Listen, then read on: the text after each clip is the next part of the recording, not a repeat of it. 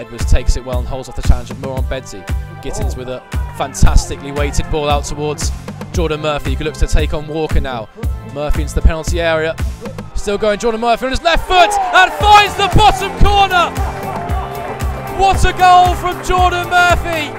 Got it on the right hand side, a fantastically weighted ball by Callum Gittins to find him. But all the hard work done by Jordan Murphy, just skipping his way past Glenn Walker and finishing fantastically into that bottom corner.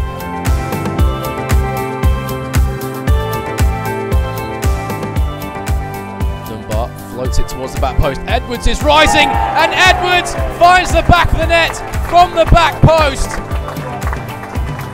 It has to be said, it's been quite an even game, but Leamington have been threatening from those set pieces all game, and this one's finally come up trumps for them. And it's their star man, Jack Edwards, rising highest at the back post to plant his header past Paul White.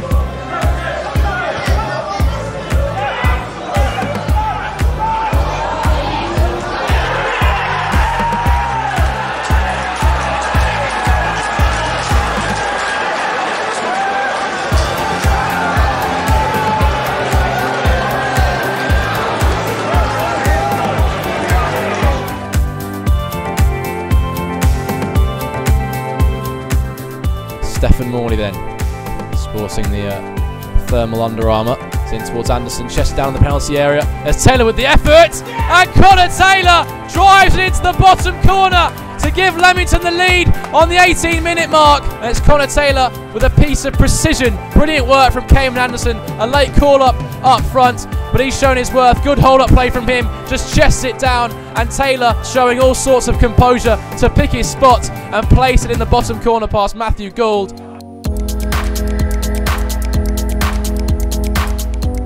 Gittins. Carlisle with a low ball into the penalty area, dealt with by Diggy, and will break out to Johnson. It's a strike there from Joe Clark, and what a scorcher from the Leamington man who captains the side today. Dropped to the midfielder, first time on his right foot, didn't have a second thought about it, didn't need a second invitation, and struck that like a rocket. Absolutely no chance for Marcus Dewhurst in the Guiseley net.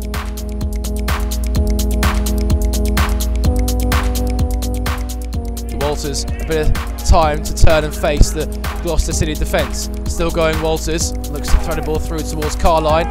Now with March. March, time to strike! And what a goal from Josh March! Magic March with a Christmas miracle on Boxing Day. And he struck that one like a rocket. It was plenty of venom in the effort, and it was too hot to handle for Mayer. And it's 24 now for the season for Josh March.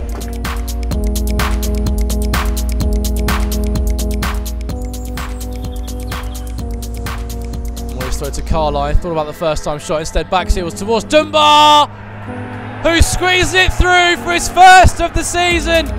Well, he's only been on the pitch a matter of minutes. Kieran Dunbar. It's the creativity of George Carline with the back heel and the vision to spot Kieran Dunbar and forget three French hens for Christmas. It's three Brakes goals on Boxing Day.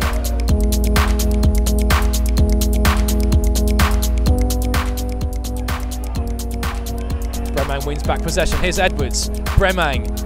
Edwards into the penalty area. Still going Jack Edwards. And it's a finish. Low into the bottom corner. And Edwards opens the scoring in the FA Trophy second round replay here at the Phillips 66.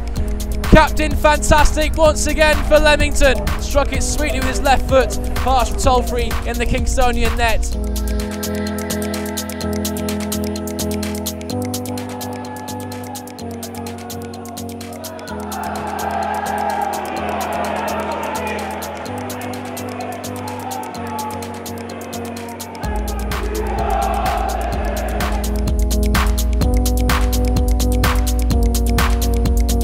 Both arms raised now. Right footed Kieran Dunbar. Maycock has made the run short. Dunbar clips in towards the penalty area. Headed out by a Concord shirt. One up for Stephen Morley! Oh! What a cracker from Stephen Morley!